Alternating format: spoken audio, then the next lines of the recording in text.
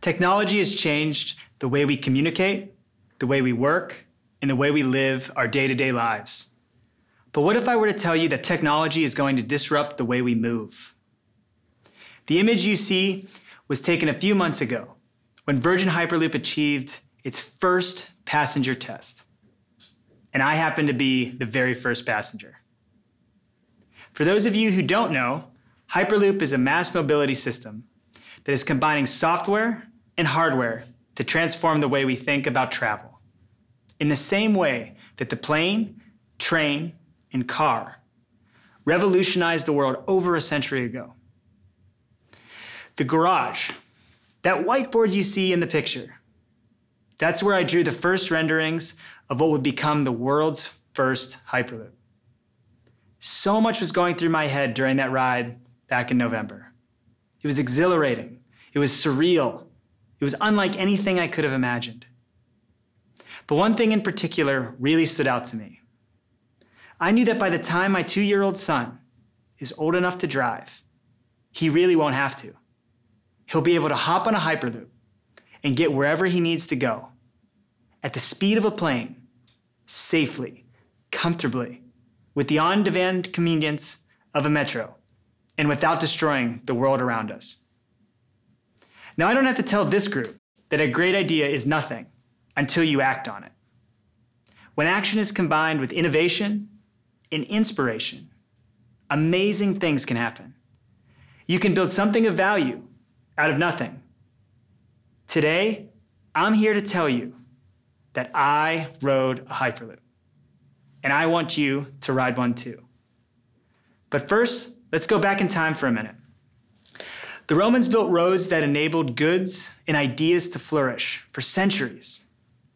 The Spanish galleon spurred an era of exploration that changed the face of the world. And air travel upended the concept of distance and time.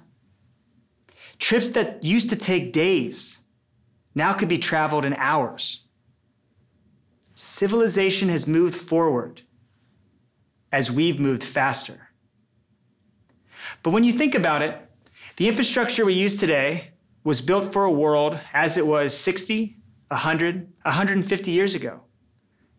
We have not had a new form of mass transit for over 100 years.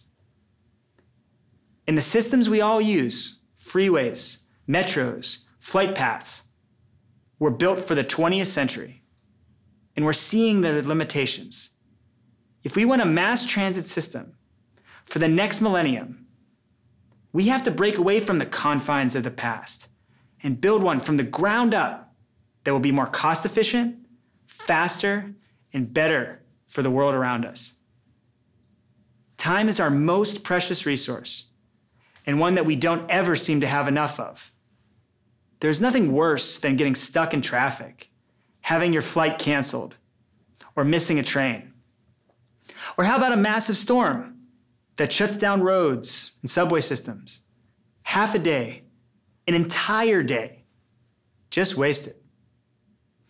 Now imagine if you could go from New York to Washington, D.C. in the time it takes to get from the Lower East Side to uptown Manhattan. Hyperloop will change the way we think of time and distance, where we live and work, how often we get to see our friends and family. It combines the best of all modes of transportation the speed of a plane, the on demand convenience of a metro, the efficiency of an electric car, and it's affordable and safe. Most of all, it will give us our time back. This is what I consider the mobility system of the future. Now, as an engineer, I love to tackle big problems. I've been known to geek out on technology, probably too much at times. So bear with me here while I explain why Hyperloop is also the solution to tackle our climate crisis. Hyperloop is 100% electric, and because it runs in an enclosed tube, there are zero direct emissions. This would significantly cut air pollution. Here's an example. A Hyperloop system connecting my hometown of Pittsburgh to Columbus, Ohio, all the way to Chicago would reduce greenhouse gas emissions by 2.4 million tons. Let me give you a visual. That's enough to fill almost 1,500 hot air balloons. How? Our tube structure sucks out the air to the equivalent of 200,000 feet, allowing us to go the speed of a plane, but with a fraction of the energy usage. We are also energy agnostic, meaning we can use the power of the sun to transport millions every year. Or any other type of clean energy, like wind or hydrogen power. Not only that, but we have a small physical footprint. Besides being more sustainable, we are also operationally efficient. Think of it this way the digital revolution put information at your fingertips. Hyperloop will do that for transportation.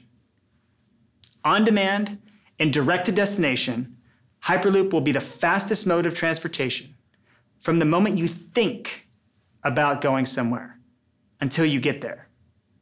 It's a system built with the future in mind. And this is where it gets interesting. If you expected to hear about a faster train, you've come to the wrong place. Powered by a software based fleet management system, autonomous electric vehicles, called pods, are digitally linked together to form convoys to move masses. Think more along the lines of autonomous vehicles in a dedicated lane versus a physically connected train car. Your pod, carrying you and 27 other passengers, veers off from the others like a car exiting a freeway and stops where you want to exit. This type of system is built upon a future proof design philosophy that can be summarized in four words smart vehicle, dumb road. To illustrate, a Model T and a Model 3, light years apart in design and technology, can ride on the same road. Similarly, Hyperloop is designed as a smart pod and a dumb tube the Hyperloop infrastructure we build today will be ridden for decades, even 100 years from now, by pods that evolve technologically with the trends and advances of the third millennium. It's one of the safest transit systems, too, because it's enclosed in a tube. You won't have animals, cars, or people crossing the track. We mitigate the chance for human error because the whole system is controlled autonomously through software. In short, safety, modularity, clean energy, smart technology. These are the markers of a 21st century mass transit system. No other mass transit system has all of this. And it's because innovation was followed by action. At this point, you may be thinking this is all well and good, but when will I see it in real life? Now that Hyperloop has been written. The next step is commercializing this system.